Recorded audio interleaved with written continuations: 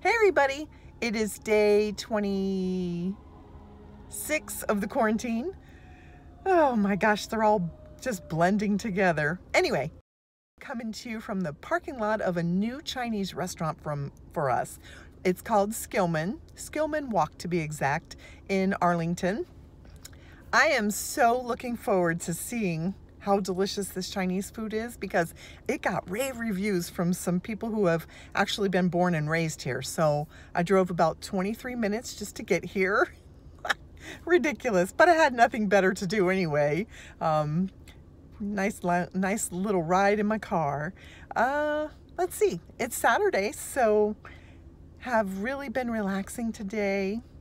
Um, just taking a little break it's been nice not to be totally submerged in everything that's going around us in the world right now. Just decided I was going to unplug, de-stress, and relax.